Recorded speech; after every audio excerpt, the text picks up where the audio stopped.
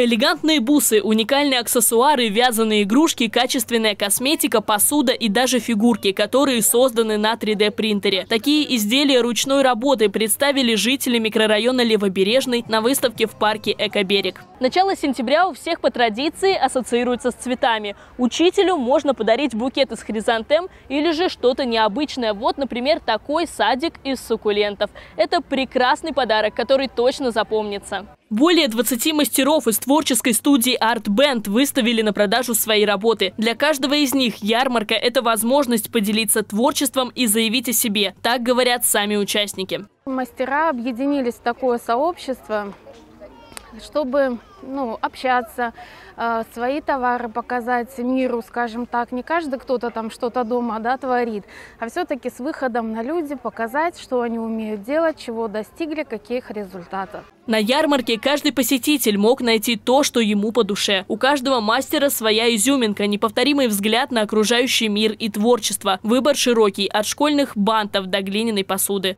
подарки для учителей, броши, серьги, подставки под карандаши, ручки под телефоны. Такие игрушки можно использовать, игрушки-говорушки, на уроках э, английского языка, любого иностранного.